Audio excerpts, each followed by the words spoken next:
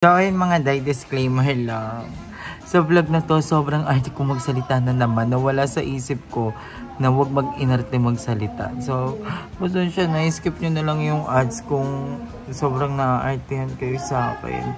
Ay, skip nyo na lang itong video muna kasi ewan ko na, artehan din ako sa sarili ko sa part na yun. Kaloka. At ito yung update ngayon na nilinis yung ating bahay. So, panoorin nyo na guys. Ito yung araw na nagkabit ng wifi. And ngayon naman is naghahakot na tayo ng mga gamit ng mga panambak sa labas. So, hinahakot na siya. Ayun, I'm so happy kasi malilinis na finally yung labas natin para din ma-visualize na natin kung ano ba yung mga magiging ganap. And ngayon is sobrang kalat dahil nagluluto kami ni Archie, siya lang pala. Nagluluto siya nung favorite kong tinapay.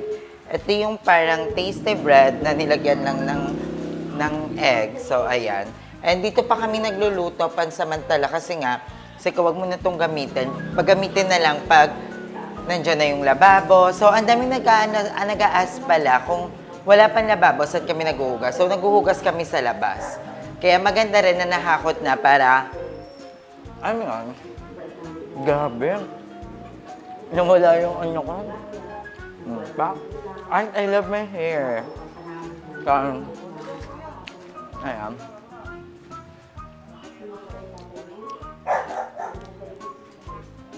Ang talaga, favorite talaga to.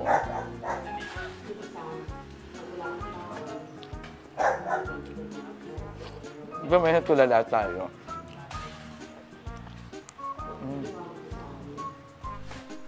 So, ayan, konti na lang. Ang papansin niya before, sobrang tambak na tambak yan dyan. Ngayon, konti na lang dyan. Sana maalis nila lahat. And, ayan. My mother is here. Kasi may nag-comment na sana may cabinet tayo ng mga unan. Kasi nga, medyo tsaka pala talaga pag sobrang daming unan kasi nagiging mukha siyang tambakan. So, gagawa natin ng paraan yan kung saan natin pwedeng ilagay yung mga unan. Um, ayan. Si Archie dito is ganap na ganap sa pagluluto. Wow, sarap! It's so yummy! Is it yummy? Sarap ba ako? Ay, ano, sarap ba to? Masarap, masarap yan. Ito ba? Yeah, so, ayan, si Archie. Naghahanap siya ng skincare ulit. Kasi daw, parang buwabot. Pero hiyang ka doon, no, sa Derm Bliss. So, Derm Bliss yung ginagamit ni Archie. Which is, yun din yung ginagamit ko sa face ko. Sobrang ganda nun. Ngayon, parang nagbabalikan ulit yung tagyawat mo. Maintenance kasi talaga yon So, kung gusto nyong umorder, ayan, ito yung kanilang Instagram. Ayan. Instagram nila. So, bisitahin nyo na Derm Bliss. So, ayan na, ang dami nang naluto. Ayan na lahat. Ayun, ayun, ayun. Final na yan. So, bigyan mo sila dun sa labas. So, ayun, sarap kasi ha. Ang ingat. Gago. Kaya ko to. Ang ingat.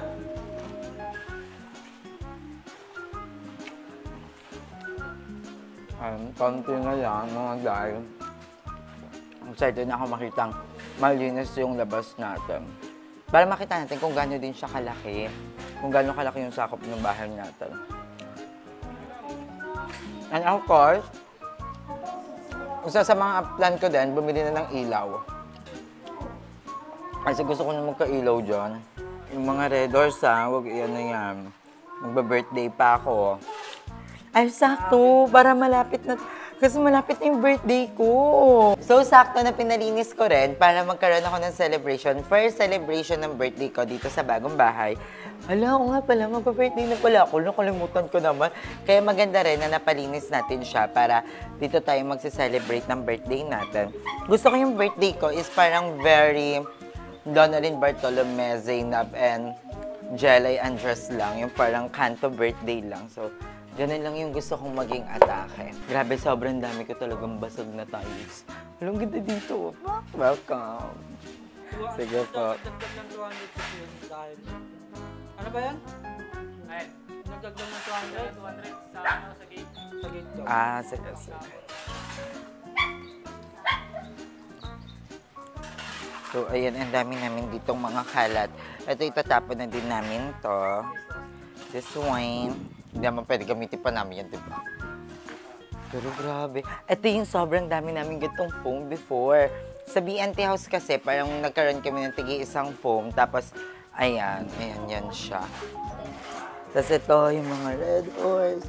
Grabe, saan kaya to galing? Hindi naman kami nagiinom dito. Feel ko hindi yan sa amin. Tapos may bola pa ng volleyball here. So, dito, dito kami banda naghuhugas. Naglalagay lang kami ng upuan here, tapos planggana, tapos hugas. Medyo against the light lang, pero laban na. At rin, Chi, tatanggalin din tong mga to. Ito, ito, lahat yan. Pati dun to sa ano, oh.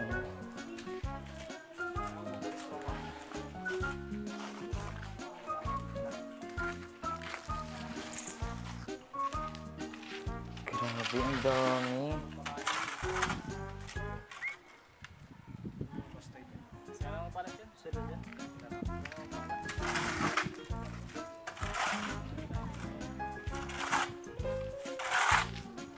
At saka para medyo mabawas-bawasan din yung mga langaw-langaw dito. Kasi napakadaming langaw. Ang dirty.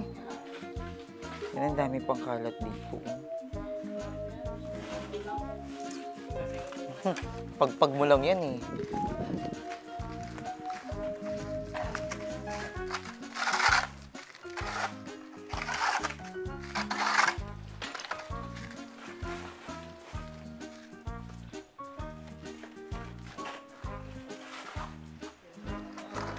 So dito, hindi ko pa alam yung plan ko dito sa labas kasi actually hindi pa naman talaga napipinish yung labas ng bahay namin. Kaya wala pa akong plan dito pero ang pinaka-plan ko talaga is magkaroon ng parang gate tapos parang mag-bermuda grass na lang kami, something ganun para kahit yung mga aso andito sa labas, 'di ba? Malaya sila. Caring-carry sila magtatakbo-takbo dito. Hindi ko nga alam. I'm not sure kung hanggang saan yung pwedeng maglagay ng gate. Kung hanggang dito lang ba or hanggang dyan lang. So, ba? Hanggang dito. Gusto ko kasi isagad. Ayoko magpatantos. Sagad mo. Mga dito, no? Tapos may pa-overpass, no? Na. Hindi, okay na yun. Parang hanggang dyan lang. Para medyo maliit lang.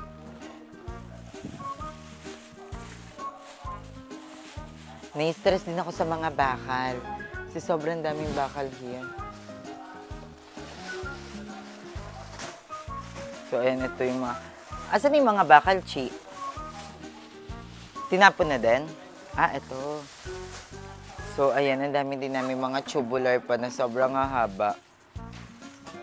Dapat ipapatapon ko na din yung tubular before. Kaso, sabi nung gumagawa is pwede daw gamitin yan pang pang finishing or gawing pang gate, ganun, something. So, ganun. Tulong kaya tayo, puro tayo daldal.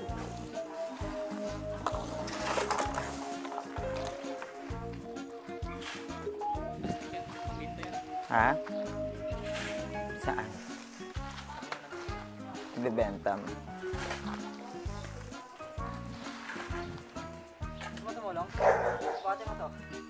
Kabog. Actually, hindi ko din talaga alam gagawin ko sa mga bakal na to. Kasi gusto ko na talaga ma-dispose lahat. As in lahat. Ilan ba yan? Isa na lang? Alam ko tatlo yun. Oh. Ang dami pa nga dito. Ito tatapon na. Ah, Tabi yan. Kailangan. Oh. Tabi na natin.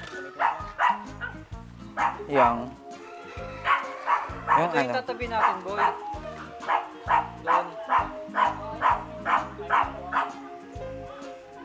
Ni-stress ako sa bakal. Parang gusto ko na siyang ipakabit kung saan man siya ikakabit. Kasi sinabihan din ako ng gumagawa dito na parang pwede daw siyang ilagay dito. Parang pag ganon, para maging ano nung kisame dito sa labas. Pakabit ko na kaya mga Zay, no? Para wala na talaga tayong mga ano dito. Tapos may isa akong mahabang tiles dito. Yung binili ko yung pang CR. Baka ibigay ko na lang kay Madam Ivan kasi naghahanap siya ng ganyan. Patungan ng lutuan niya. So baka ibigay ko na lang kay Madam. Tricycle lang yung pinangahakot nila. So akot hindi niya itong mga basura. Hindi. Dami na yan sa na lang. Yung Pati to, yung mga tiles. So, yung mga day, babalik na lang kami mamaya. So, I love you all so much. So, ayan mga day, after 30 minutes, ayan na yung itsura niya. Ah, medyo mabilis yung paghahakot. And I'm so happy. Nakikita na natin na medyo malaki bilog sa part na to. And nabivisualize ko na kung ano yung mga gusto kong gawin here. So, so excited. Buti na lang din walang ahas. So, ayun mga day at gabi na. At ito na yung naging eksena sa ating paglilinis ng bahay. Ginabi na tayo. And ang mga natira is yung basura. Sabi ko, kung pwede ipahakot na din. Kaso hindi daw pwede kasi wala silang paglalagyan. So, aabangan daw namin kailan? Friday. Friday yung paghahakot ng basura para mahakot na din to. So, Friday pa lang ng umaga mag-aabang na kami sa labas. So, ang lawak na. Tignan mo, napakalinis. And nakita rin dito, oh, ito oh. Yung ginawa nilang ganito, yung parang pa-slide. Ginawa na, eh, ginawa nila to kasi para madaling maangat daw yung mga gamit, ganon. And, ayan, hanggang dito yung ating line. Ayan, medyo malawak. Tignan mo, ito yung lawak niya dyan.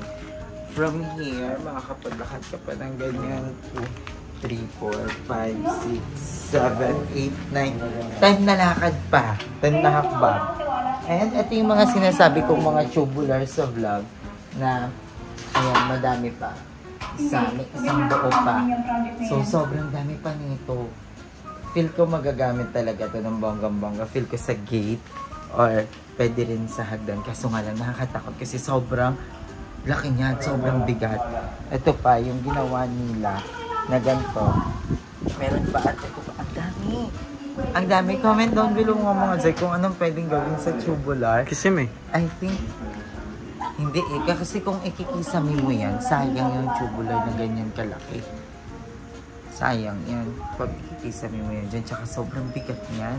Nakakatakot, baka biglang lumundo. So, baka pwede gawin ko yan dito, Kate. Diba? Ipag-gate ko yan. Kasi ang dami, sobra. And ito, puro basura na lang. Yun ang tira. Pero lahat ng mga semento, padambak, wala na, natapon na. At sobrang linis na wala na yung mga buhangin. I'm so happy. And ito, hindi ko sure kung mag- magagamit pa to pero for the meantime, baka ipabaklas ko na muna to para, alam mo yun, wala talagang kalat at dito sa bahay. Ito mga to, ano to? Ayun yung mga buhangin. Oo, oh, ang dami pa pala natin buhangin. So baka pwede natin ipag-finish tong labas. Wala, ang perfect. Medyo madami pa. Tapos itong mga buhangin na to, bistay to. So mahal yan, nakabistay yan. Kaya hindi tayo masyado mamumroblema. And dito kami naghuhugas nila Archie for the meantime. Ayan, dyan. Tapos ang dami ko din ganito. Ito ang pwede sa kisame dyan sa labas. Ayan yung pwedeng kisame dyan sa labas. Kasi ito, ma- magaan lang yan. Malambot lang yan. Hindi siya delikado. Kasi nakakatakot pag ito yung nilagay dyan. Kasi sobrang bigat. Mamaya biglang lumundo. Diba nakakatakot. Kaya yung mga ganito. Buti na lang, madami pa tayong ganito din. Ayan, sobrang dami pa natin. So, para hindi tayo masyado mamumroblema kung sa materials lang. Siguro labor lang. And, ayun lang mga doy. Ang ganito yung lupa natin, guys. Tapos imagine mo may gate na dyan. Tapos papalagay lang ako ng kahit kalahati na puro Bermuda grass. Tapos yung may daanan, yung mga bilog-bilog dito. Papunta sa door. Tapos pwede dito sila vlogger, yung mga dogs. Pwede sila dito magtatakbo-takbo, ba? And may gripo dito. Pwedeng, alam mo ba, ang isa sa mga naiisip ko din, Archie, na ilabas yung laundry.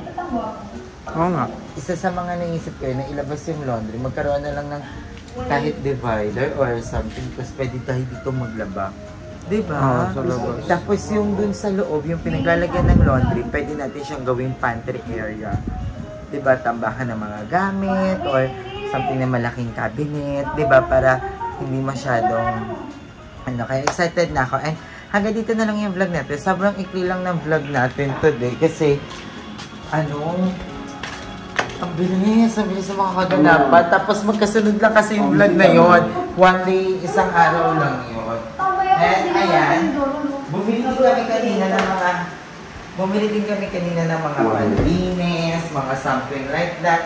And bumili kami ng syempre, mga kabash-bash na mga pagkain dahil Ayan, bumili ako nito kasi ito lang yung mga on the go food. Pag kunyari, nag, nagugutom sa madaling araw or nagugutom biglaan sa hapon, pwede kaming kumain. Di ba? Konti lang naman kasi sobrang lapit lang ng palengke dito. Pwede kami mamalengke anytime, anywhere.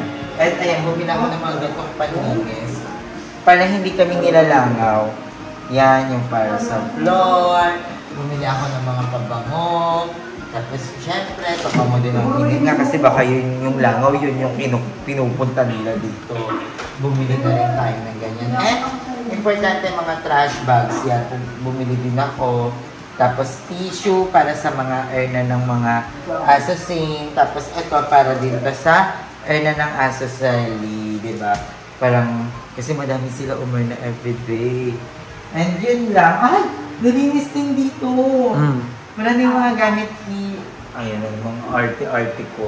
Na wala na yung mga gamit dito. Yung mga gamit. Ito dapat yung laundry area. Kasi inisip ko, baka parang pwedeng paggawa ko ng cabinet dito. Tapos, lagay ng mga dilata, ng mga... Alam mo yun, mga kung anek-anek. Kasi sayang. Pero comment down below mga day kung dyan na ba yung laundry or sa labas na lang. Huwag kayong magagalit pag nagko-comment kayo na ano ba yan, Angie? Dapat huwag yung baguhin yung mga... Okay lang naman po kung magalit pala kayo. So, ayun. Nalinis na, in all fairness, ang ganda rin dito. Ayan. Then, iniisip ko na din kung saan ko ilalagay yung altar ni Papa. And excited na ako. Alam mo, Tabi pwede ng na TV. natin dito eh.